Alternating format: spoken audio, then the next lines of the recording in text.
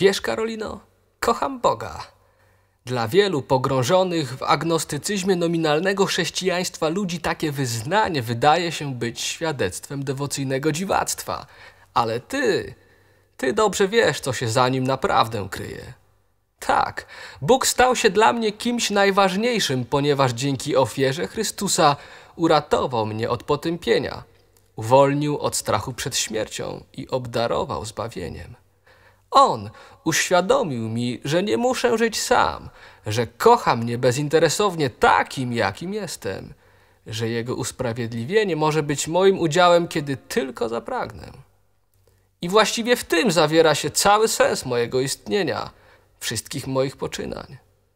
Wierzę, Karolino, że i dla Ciebie są to wartości najważniejsze, ale zwróć uwagę na przerażający fakt, iż dla wielu tak zwanych polskich chrześcijan te podstawowe prawdy biblijne są zupełną niewiadomą. Co się stanie z nami wszystkimi, którzy tworzymy dzisiejszy świat? Czy ktoś kiedyś będzie nas karał za nasze niezbyt moralnie przeżywane dni? Oto pytania niejednemu spędzające nocami sen z powiek. Jednak nie da się od nich uciec, ponieważ alternatywa piekła i nieba od zarania dotyka każdego człowieka z osobna. Bóg poprzez Jezusa Chrystusa chce być pozytywnym i rozwiązaniem, lecz równocześnie nigdy nikogo na siłę do siebie nie przekonuje.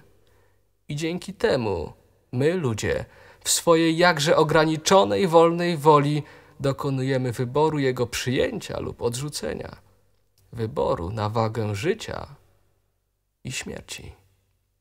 Nie wiem, na ile jest to dla nas przywilej, a na ile wynikające z powszechnego upadku ludzkości przekleństwo, ale akurat ta kwestia dotyczy już zupełnie innego problemu i nie jest dla naszej egzystencji tak zasadniczo istotna. Prawda, Karolino?